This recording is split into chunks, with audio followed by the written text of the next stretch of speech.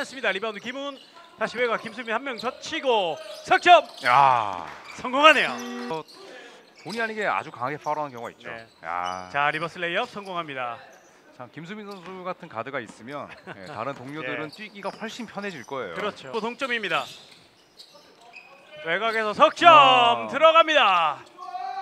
자 또 김수빈인가요? 그러네요. 자, 네. 샤클락 10초. 자 김수빈 쏩니다. 석점 아, 깨끗하게 꽂아놓는 김수빈. 김훈이 다시 외곽. 김수빈. 아 지금 쏴야 되는데요. 자 김수빈 쏩니다. 샤클락 아. 쪽에서 쐈는데 이거를 넣어주는군요.